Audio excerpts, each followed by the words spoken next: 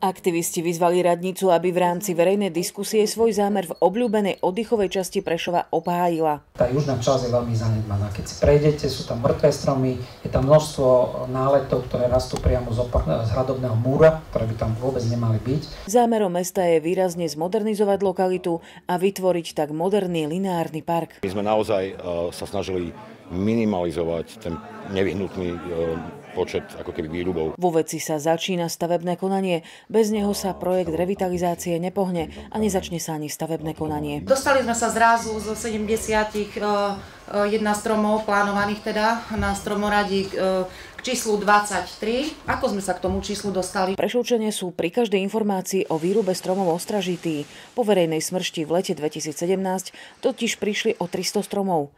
Prešovčania, ktorých sme oslovili po verejnej diskusii, by za výrub stromov v stromoradi nezahlasovali. Určite nie a mám aj dokumenty, ktoré e, ukazujú, že nekonalo až tak, ako tvrdí. Nemyslím si, že je vždy nevyhnutné všetko vysekávať a sanovať. Len je to naozaj na to odborné zváženie. Podľa aktivistov z lesoochranárskeho zoskupenia Vlk zdravé stromy sú pre Prešov dôležité na udržanie mikroklímy. My sme sa zapojili do výrubového konania, keďže beží správne konanie ohľadom výrubu drevín. K tomu samotnému projektu sa nevieme vyjadriť a takisto aj ku konkrétnostiam v tom výrobovom konaní zatiaľ nie. Verejnosť chce ďalšie štúdie k stavu drevín od odborníkov. Dajme tomu práve tú odbornosť, ktorá posúdi, či je to správne, za akých okolností, čo je škodlivé a čo škodlivé nie je. Radnica preto odmieta poplašné správy, že kmeťovo stromoradie stratí svoje pomenovanie. Stromoradím zostane. Za vyrúbané stromy totiž mesto dosadí 56 nových.